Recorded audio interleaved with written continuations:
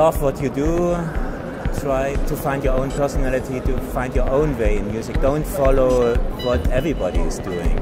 Try to uh, not, I try to do something else. Read a book or, or going out to see what the other people do, and then take it as an inspiration. And then you have like new uh, power to uh, to be creative again. I think you are you should do the next step in your hands like the young generation like finding something else. Especially i mean south america chile all these countries colombia they have a rich culture in like uh, especially rhythmic music. Take your roots and then build something own.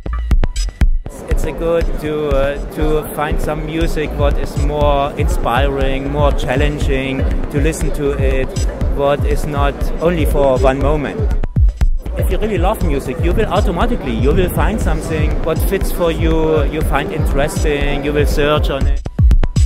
Good luck with everything and uh, have a good time.